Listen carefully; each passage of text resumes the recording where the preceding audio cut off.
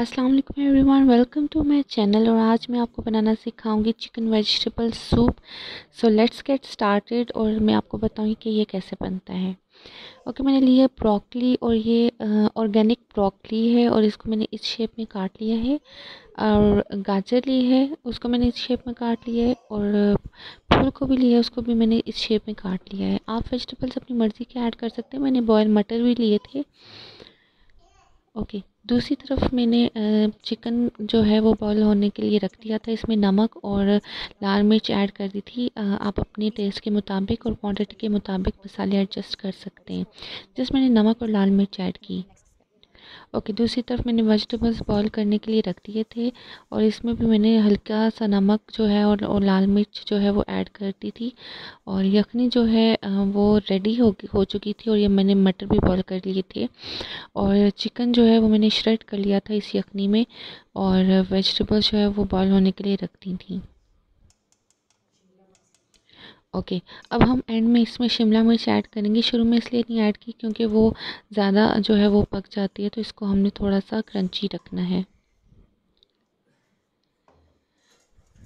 Soup के लिए हम जो है चिकन की यखनी जो है वो चूल्हे पे चढ़ा देंगे और मैंने चिकन ऑलरेडी जो है वो रेशे कर लिया था। ये देख सकते हैं आप।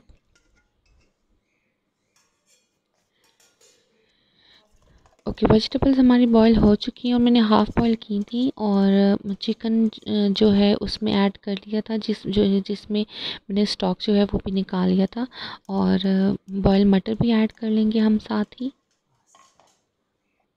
और इसको बॉईल होने के लिए रख लेंगे। इसमें मैं डालूँगी का, ब्लैक पेपर। अपने टेस्ट के मुताबिक आप एडजस्ट कर सकते हैं और ज़्यादा चमचा नहीं लाना बिकॉज़ वेजिटेबल्स हमारी जो है वो फ्रेश नहीं रहेंगी। इसमें सोया सॉस मैंने ऐड की है। और विनेगर भी मैंने ऐड किया था, वो स्किप हो गया मुझसे स्टेप ओके अब हम इसमें कॉर्नफ्लावर ऐड करेंगे इसको थिक करने के लिए। और आप अपनी क्वांटिटी के हिसाब से देख लें, मैंने फाइव टेबल स्पून ऐड किए थे। और सूप मेरी अम्मी बना रही थी, मैं वीडियो बना रही थी।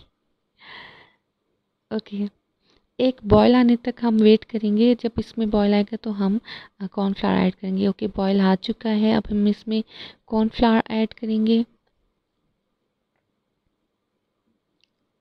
और साथ साथ चमचा हिलाएँगे ताकि लम्स ना बने। अच्छा सा बॉयल हमारे पास आ चुका है। यहाँ पे आप मसाले एडजस्ट कर सकते हैं टेस्ट करके।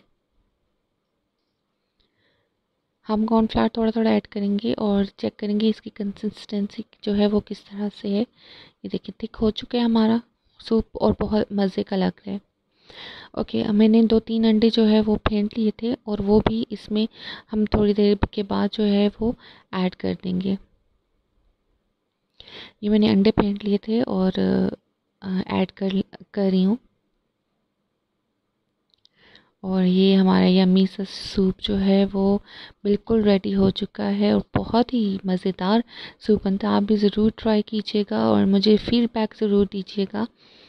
और ये अम्मी सर्व कर रही हैं।